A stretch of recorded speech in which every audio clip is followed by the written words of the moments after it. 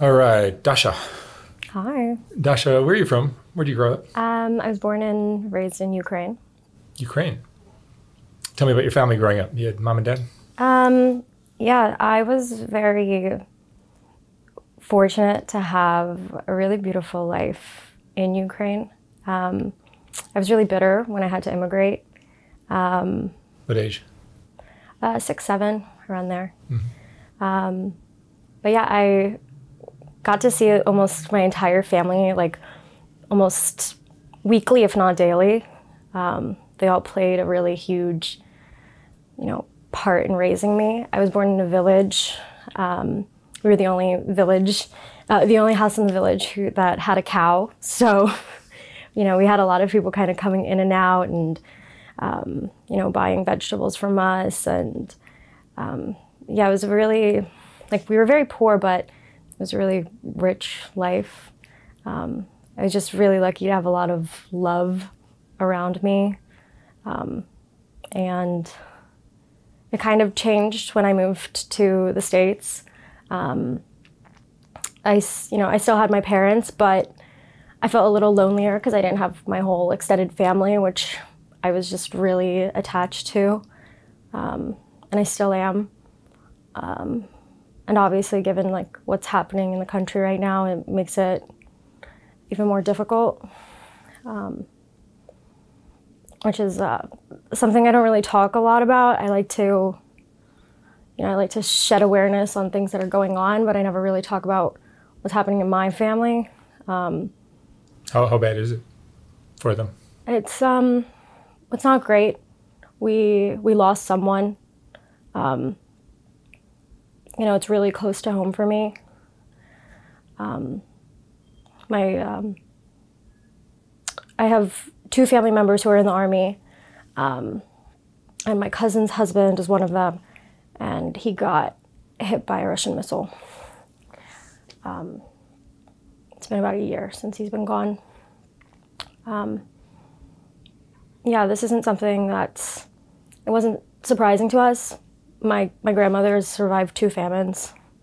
Um, you know, because of all of this, it's kind of in the history of being Ukrainian, is kind of fighting fighting them off, unfortunately.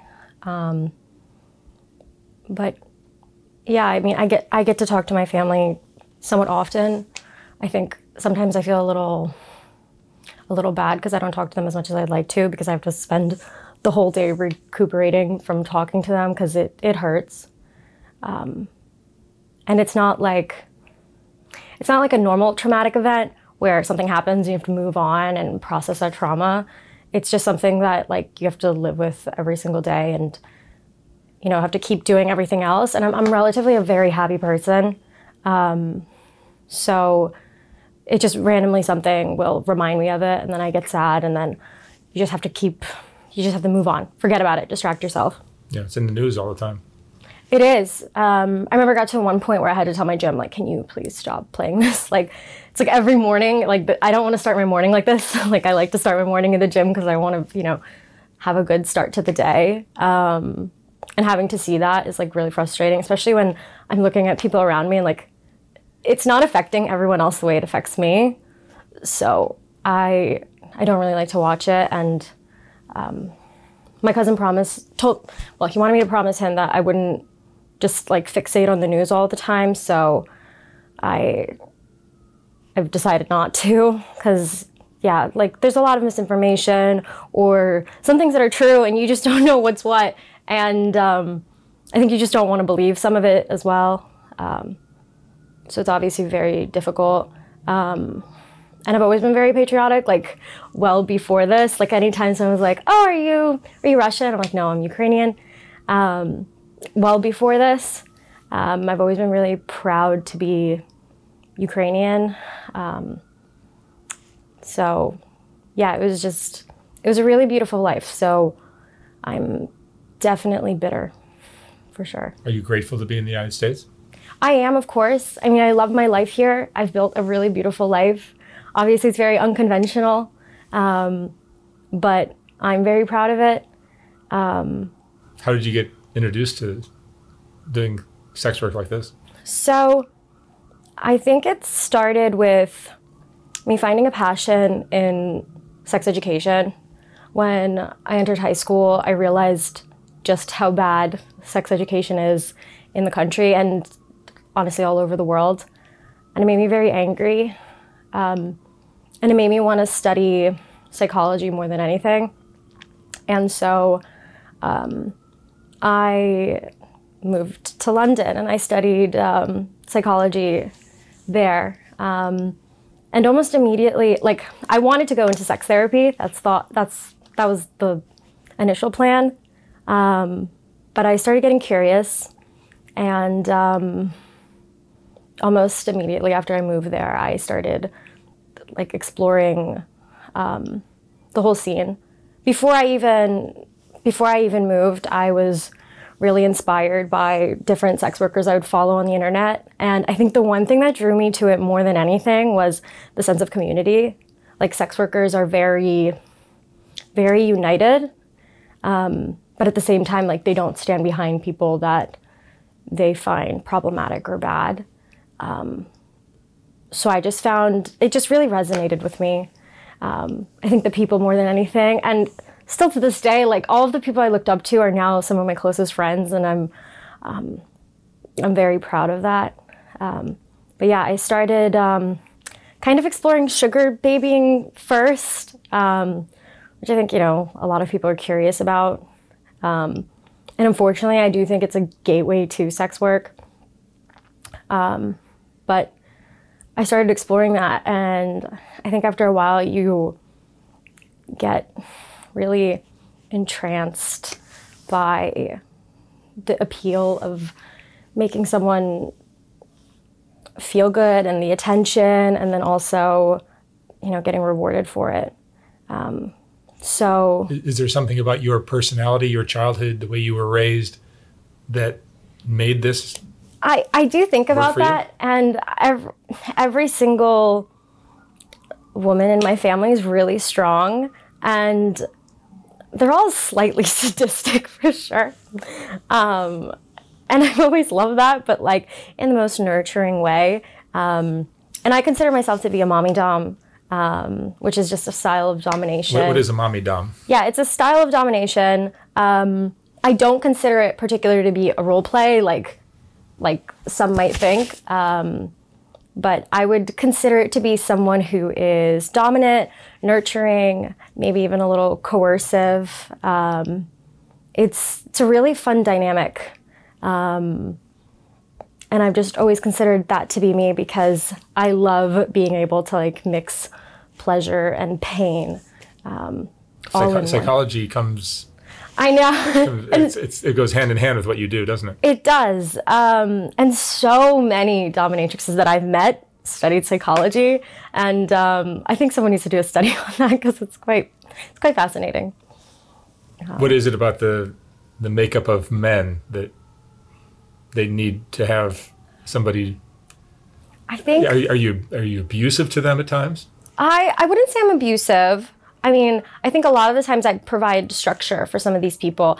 Um, more than anything, um, why I continue to do what I do um, is it's so rewarding to see, to just, to see someone feel really validated because a lot of the times I think femdoms and submissives are told that they're not allowed to act in this way. Um, and when you have someone that you know allows you to explore this in a in a healthy way um, and that's not abusive, um, it just it feels like a catharsis for a lot of people. Um, because a lot of the times, what I'm exploring more than anything, because m- most of the people that I've I've seen, they're not engaging in extreme BDSM or you know anything very hardcore. It's just at the root of it like people want to experience role reversal. And men in particular they like the idea of feeling desired of feeling pretty. And um, i think we just don't allow men to feel that way. And i also think we don't allow women to always feel powerful. Um, and so I feel like I'm able to give people that outlet. And for me, that just, it means the world.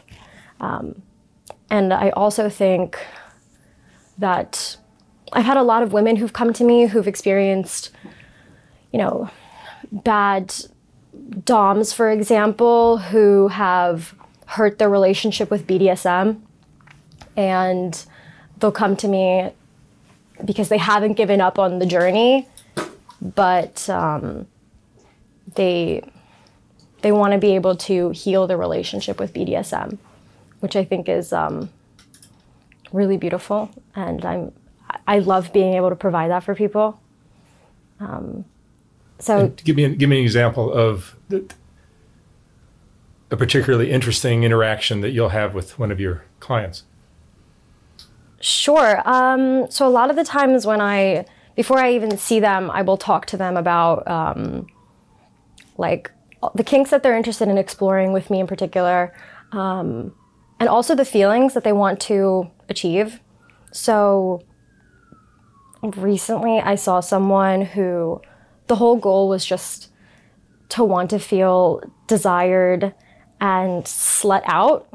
And um, that is exactly what I attempted to, to do. Um, and I think with that is where like my sensuality kind of comes in because especially when you have someone pretty who um, like really shows you that they want you um, it's very validating obviously um, and I think that's something that I bring to this is like a lot of authenticity. Um, you, you, enjoy this? I do so much, um, and I never really understand people who, you know, hate on what I do, um, because I'm just so happy. well, it's it's a form of therapy, isn't it? Um, it really is, and especially if I have. Let me let me, let me ask a frank question: Are, are are you having sex with your clients? Um, I am not. Yeah, see, that's what I suspected. And, yeah. And so, really, what you're doing is therapy with maybe some spandex and some, I mean, latex, and uh, and some whips and some boots and stuff like that. Yeah, yeah, it's um, it's it's really beautiful. Um, I did at one point used to do like some independent escorting, and everyone would always want me to dom. So um, I've always had a very dominant personality. Um, everyone's always said that. From when I was little, everyone's like, Dasha is the most confident person that I've ever met. So, like, a lot of this, like, in retrospect, makes sense. Um, but yeah, I've just, I've, I've also like offered it at times to clients, and they're always like, no thanks. And th- this is natural for you, your personality. Yeah. This is not an act you're putting on. Yes, and I think it's very hard to fake being a good dom. Um, I think there are other parts of us, like sex work, that you can, you know, kind of put on a role and kind of clock in, clock out. Um, but this is one of those things that one, like, you have to be present 24 7. Because if you are disassociating at any point, like, the scene's not moving along. Because you are you are everything in this role. Like you are taking control, you are taking responsibility for any risks that are going to happen. So you need to be very, very present. Um, I think it's also kind of important not to, um, you know, have a huge volume of clients because you need to be so, um, so present. I mean, for example, if I have a, if I have a session with a couple in particular, um, most of the times I sleep for like 12 hours and I am so exhausted. I feel very euphoric for sure. Um, you get this like top high, um, and I love being a top for sure. Um, but yeah, it's just it's it's a lot. And after you're done, it's just like okay, I can't do anything else but relax for the rest of the day. And um, resting is a really big part of sex work. Doesn't matter what you know area or aspect of sex work that you're involved in, like you really need to make sure that you're taking care of your body because um, it's very taxing at times, for sure. Are drugs a part of your life at all? No. So I'm, I'm actually like one of the like healthiest people that anyone knows. I'm, um, I've been vegan for like eight years. I, um, I don't drink at all. I don't do any drugs. Um, you know, I come from a Ukrainian family, so drinking was really, you know. You don't need to apologize for being clean. I know. I do. Um, but yeah, it just like my family was always fine if I drank. Um, and I think that's what kept me from doing it. Like my, my parents have always been really supportive. Like, for example, they don't love that I do this, but um, they're always very, very supportive. Um, and they like to like joke around about it. And um, I just find it very easy. Um, and also, I think everyone in my life knows that like I'm the type of person that like I am very easy to cut someone off if I feel like they are not accepting what I do because I am just very stubborn in that way, um, just like the rest of my family. So um, they just they, they know that they have to be accepting of it because I will always do what I want, and a lot of the times I'm I I know how to take care of myself. do you have a lot of regulars? Um, I do, thankfully.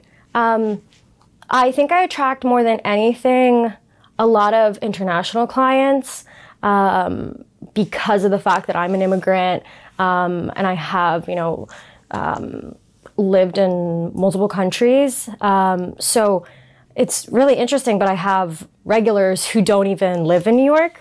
Um, and who will, you know, they might have work here, and then they try to make sure that they see me while they're while they're here. Um, and then also some locals, which is great as well. Um, but nothing makes me happier than couples. I love working with couples because um, the dynamic is just so unique. Um, and every relationship is so different. Whereas, like with individuals, you can kind of expect more. What, what, what are you learning about relationships and, and men from doing this? Um, I think more than anything that, like, specifically relationships, I mean, it's very difficult for me to date now because I have such a higher standard. Because obviously, being a Dom, a lot of my clients worship me, and obviously, that's very validating. Um, and you know, they they bring me presents. They are just. I'm so lucky. I think I have some of the best clients actually, but I think that also comes down to my vetting process. Um, but is being worshipped something that you would want in a in a romantic relationship? It is. It is. Okay. It is. And this is this is what makes relationships interesting is they're all different kinds. I exactly. Um, there's so many different ways to obviously approach a relationship. Um, and I think a lot of the times I don't approach it very conventionally given what I do. Um, and I also, um, I'm also a content creator, so I'm, you know, having sex on camera with other people. Um, most of the time I'm topping, but, um, you know, I can't be in a conventional relationship, nor would I, nor do I have the desire to be in that. Have you had a regular rela- a conventional um, relationship before? No, I haven't. Um, How old are you?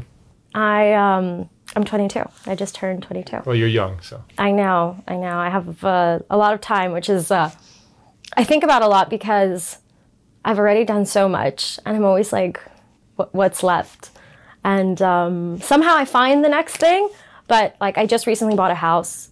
Um, I'm very proud of that. Um, so the money you're making is good.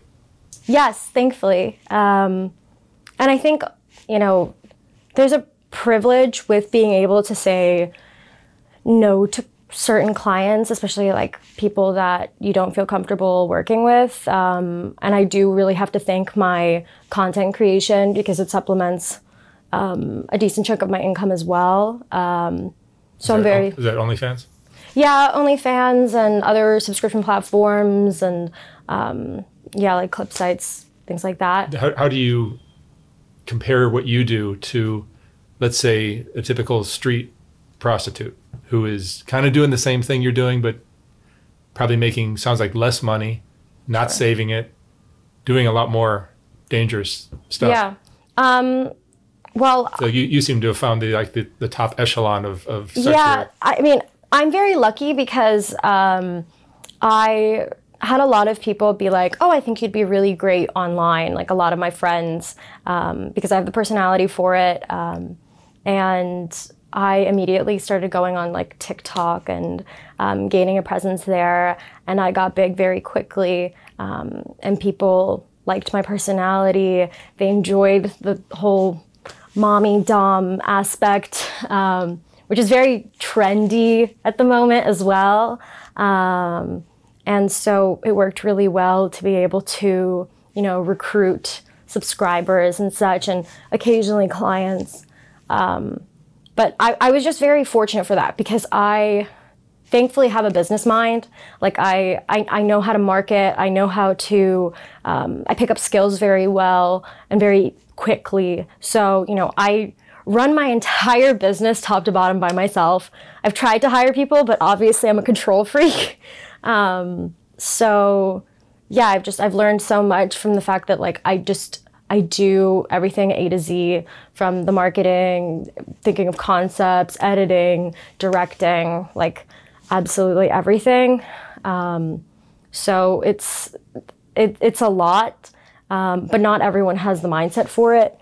And I've talked uh, to a lot of different sex workers, and some people just get into the industry simply because they like sex or they like BDSM, um, and they don't particularly love the business side as much, which is understandable.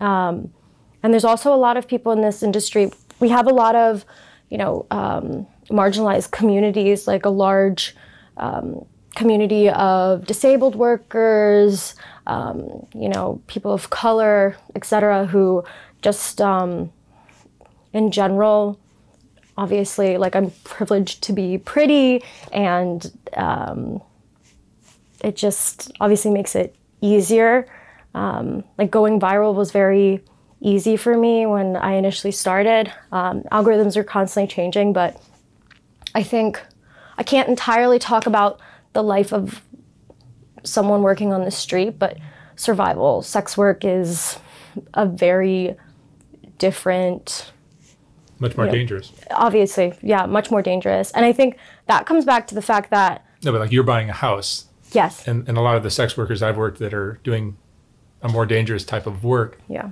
they're not buying houses. No, of course. They don't own cars. They don't even have an apartment. No, I know, and that's um, yeah, no. I, I mean, I think about that all the time because. And you're not even having sex in most cases. Yeah, yeah. Um, obviously there's so many aspects of sex work and there's a lot of it that is dangerous and i obviously seeing in-person clients like you're exposing yourself to danger and being online as well just there's there's a big stigma that comes with doing what we do um, what do your parents think of it?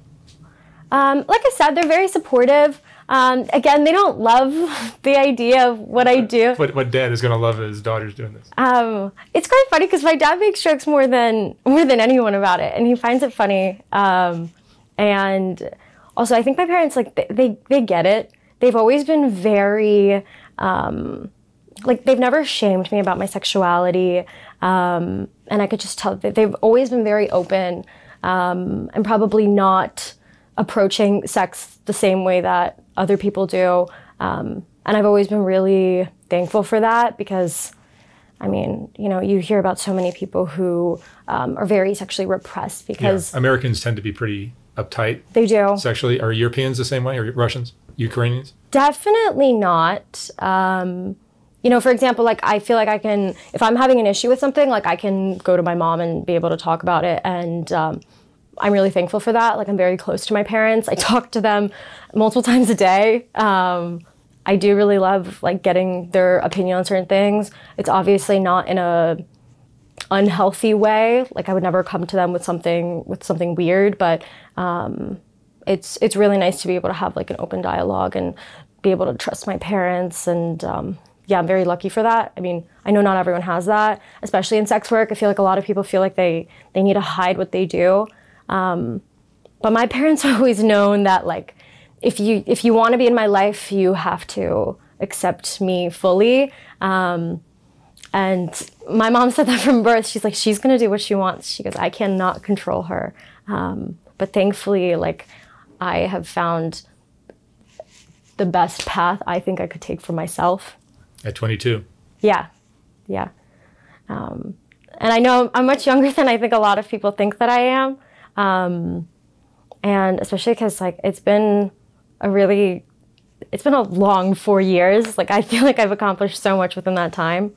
Um, but yeah, I think also there just there comes a security with doing online sex work more than anything. And I think a lot of us get really terrified when we see um, you know, sex work abolitionists and uh, payment processors try to kind of shut down what we're doing because all you do would be sending the people who have found this safe haven, pushing it us us out onto the streets. Making the world more dangerous. One hundred percent, and um, that's also something I'm very very passionate about. Do you, think, you think sex work of all sorts or many, of most sorts should be uh, legalized?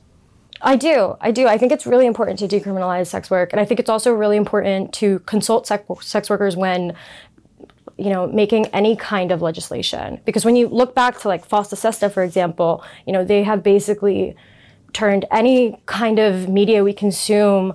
It doesn't matter if you are engaging in consensual sex work; they still consider it um, like soliciting or part of sex trafficking, and it's it's just really terrifying to see that. Um, and it, I think people don't realize how much that it goes into the censorship of our media because it goes as far as taking down a girl's post just because you see the outline of her nipple through a shirt. Because anything remotely sexual, like social media platforms don't want to be seen as aiding and enabling. You don't have to tell me. Sex trafficking. you don't. You don't have to tell I'm, me. I'm sure. Yeah. I mean, anyone who's in, who's in. I mean, this this will get demonetized for what's underneath your chin there. yeah. I mean, it's obviously very difficult because anyone who um, has a smaller chest than me a lot of the times can get away with some of those things compared to me just because I have the chest that I have, which, you know, causes me a lot of back pain. I mean, I, I didn't choose this. You show, um, you show a, a, female nipple and it'll, it'll get me in trouble, but a male nipple is fine. Exactly. And that's obviously so frustrating and it doesn't make any sense to me and it never has. Um, but yeah, it just, I think people don't really realize how how you know how the span of it and how it goes across the entire internet from actual sex workers and trying to keep us from doing what we do, but also all the way to just policing women's bodies. Yeah. No, religion complicates it. Yes. A lot of things complicate it, but it's it's a mess. It is a mess. And obviously we have everyone from sex work abolitionists to evangelical Christians, all of them lobbying. All pretending like they're not sexual. Exactly. And it just doesn't make sense because, again, because I'm European, I think we really value women and our sexuality more than more than I think other parts of the world. And we I mean, we celebrate women at the end of the day. I mean, and I just I really appreciate that. Like we definitely have a very strong matriarch in the family and like that's how it's always been um, from my grandmother to my mother like it's just always been that way. We we put women on a pedestal um, and i just i don't understand how we can pretend like we're not all having sex and that you know sex doesn't create us put us out into the world. And um, like i said i'm very passionate about sex education because you know, we can't just like leave it up to the parents all of the time because especially if you're having parents who are like no we can't talk about that like sex is evil sex is bad like don't have that until you get married it's like that's when you end up with people in dangerous situations and because they just weren't properly educated they don't understand contraception they get coerced into bad situations like that's that's terrible yeah so back back to your work and your clients. The, the, stereotype is that your clients are powerful businessmen that are older than you. Yeah. Quite a bit older. I mean, um, one thing I can say about submissives is I don't think there's a demographic. You can't just be like. It's not a it's not a, man who's got a powerful position at work. Yeah. And he needs to counter Which, that somehow. Of course, sex work is a luxury. Um, you know, most of us aren't, you know, cheap, especially if you are wanting to see someone regularly, like you have to have the income to be able to sustain that. Um, but at the same time, I mean, I've had some people who they make less, but they really want to be able to explore this part of themselves. Because I think it's also very just easy to stumble upon BDSM porn and find, you know, some interest in that. I mean, I think at the end of the day, anything can make us aroused. Um, and so they get curious and the, something sparked their interest. And nothing makes me happier than seeing someone who's never done this before and go to a professional because it's just, it's so much better than just fumbling around with someone who doesn't know what they're doing, especially because there are aspects of BDSM that are dangerous. And as a Dom, I'm taking on responsibility and making sure that I am, you know, prioritizing my safety and also their safety. Um, and if you're seeing someone who hasn't done this before and is also like, hey, I watched this video, like, can we kind of do that? And the other person has no idea what they're doing.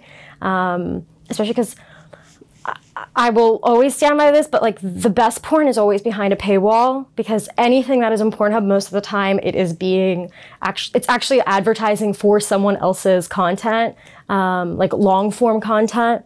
Um, so it's really, you know, you're just getting bits and pieces, and a lot of the times you're getting this like gimmicky kind of BDSM stuff. It's not very natural. It's not very authentic. Um, and there are definitely people who want that those are not my clients. I prefer to see people who, you know, really enjoy the lifestyle and maybe can't engage in it 24 7, or some people who do engage in it 24 7, um, but particularly like my style of domination. And that's why they, they choose to see me over someone else.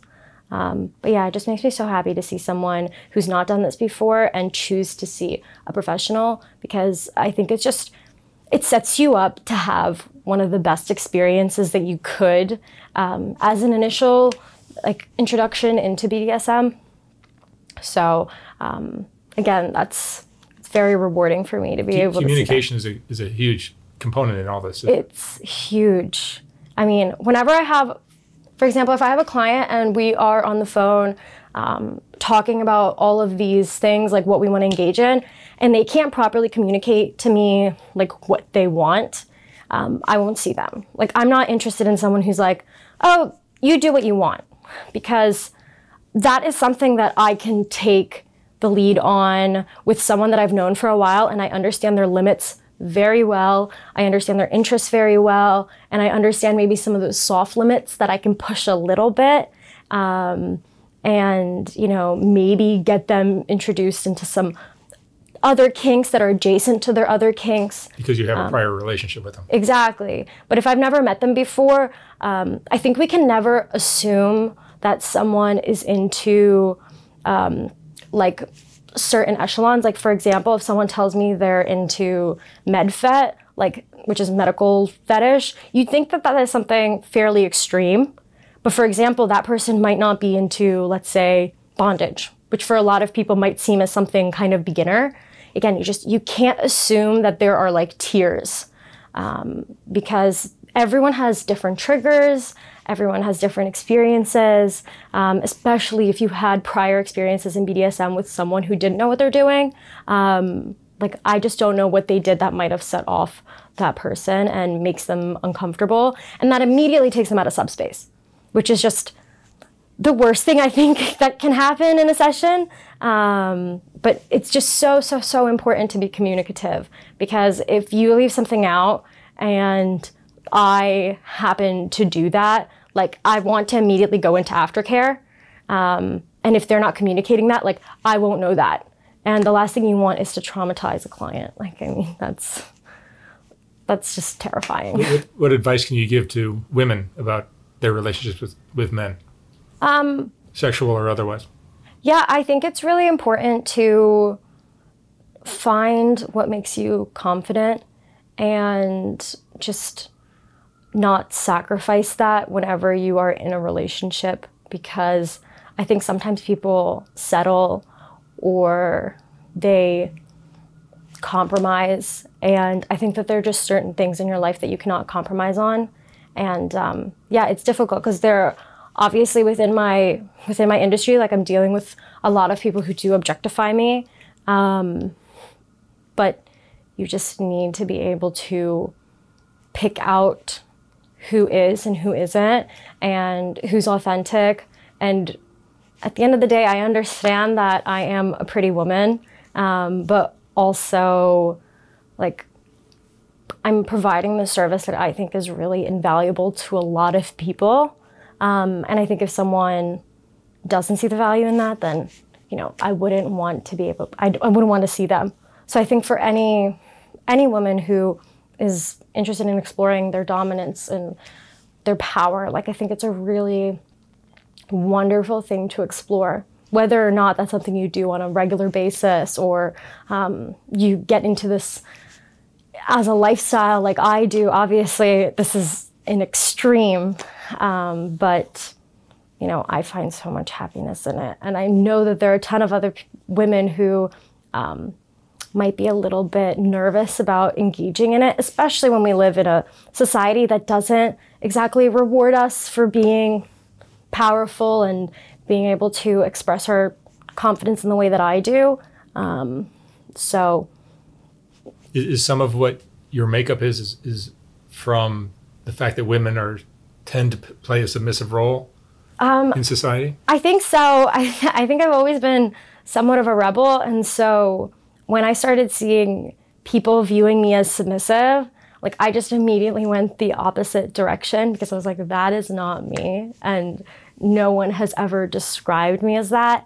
Um, and I think a lot of people tend to put their fantasies onto people um, without really understanding um, what that other person is like or into.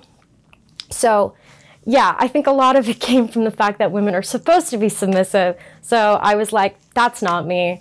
Um, and like, I don't consider myself to be a switch. Like, I am very much dominant both in like lifestyle practice and professionally. Um, although I do engage in like some vanilla acts as well, um, because we're all human and enjoy sex. But It's interesting how there's so many little sub Mm-hmm. groups in in sex. I know, and I, I think about that all the time. Just on my channel, you can see about thirty of them. Exactly. more. Yeah.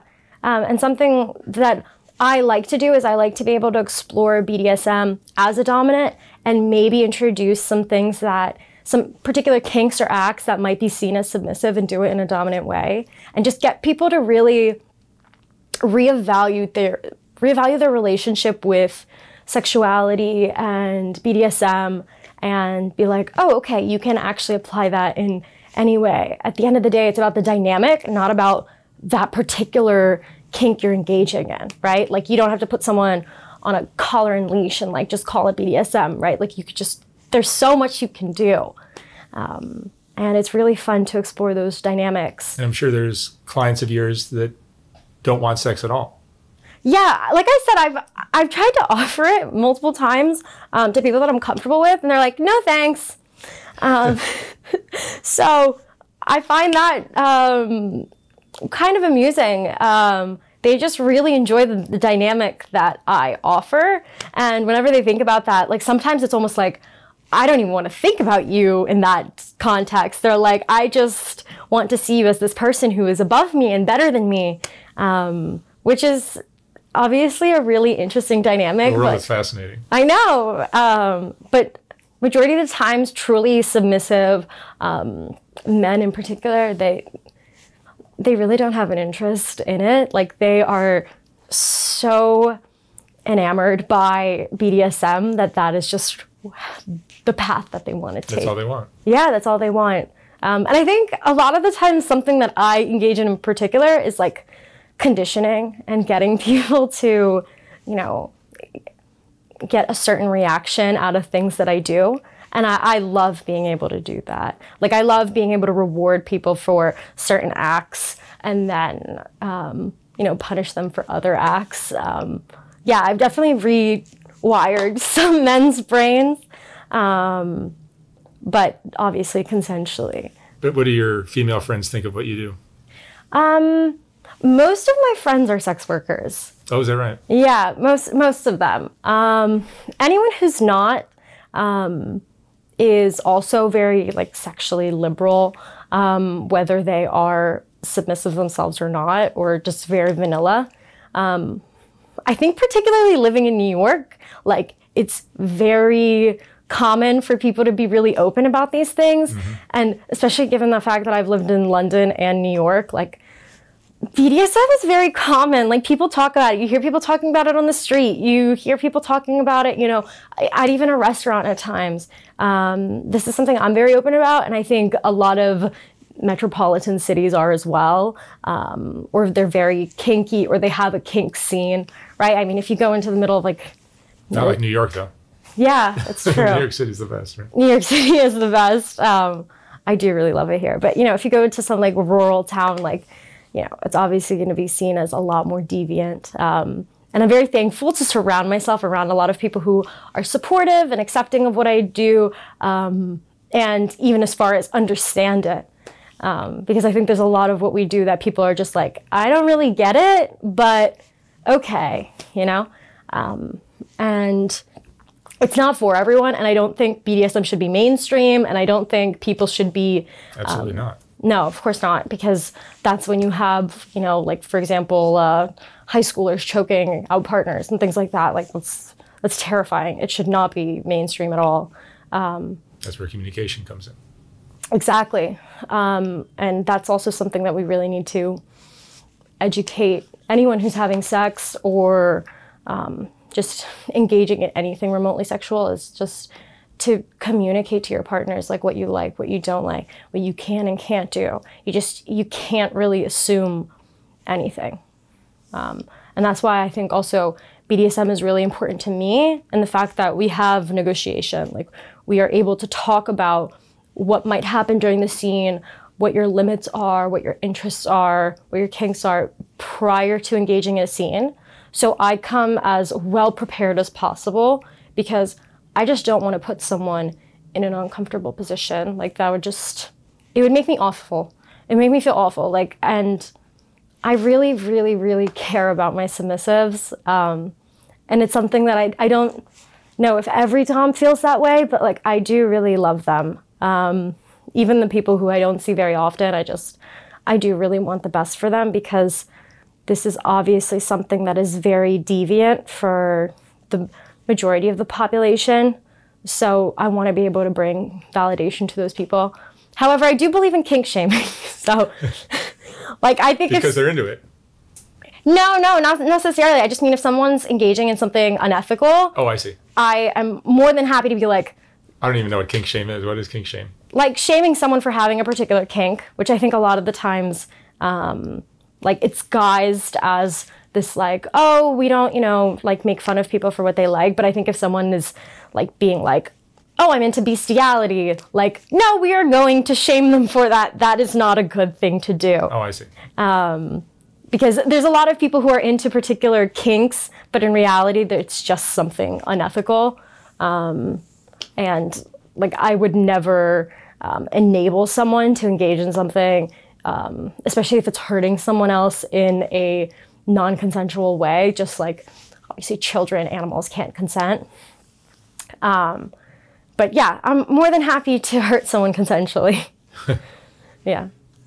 And Dasha, what, what, would you say is the most imp- important thing you've learned in your 22 years, and your four years of doing this crazy stuff? Yeah. Um, I think the most important thing that I've learned is um, to trust yourself and my gut, uh, it's really never let me down. And thankfully, I've never been in dangerous situations within this industry. And I think that comes from just trusting myself and my ability to understand people, which I think is hyper aware compared to other people. Um, and I'm very thankful for that. And I, tr- I trust myself wholeheartedly. Um, and yeah, like I always tell myself to trust past Dasha. Like if, for example, I'm wondering if I lock the door, I'm like, no, I did because I know that I trust myself to like do all these things. Um, and so I just, I always trust my gut. Um, and I think that a woman's intuition is just like a superpower. yes, it is. Yeah.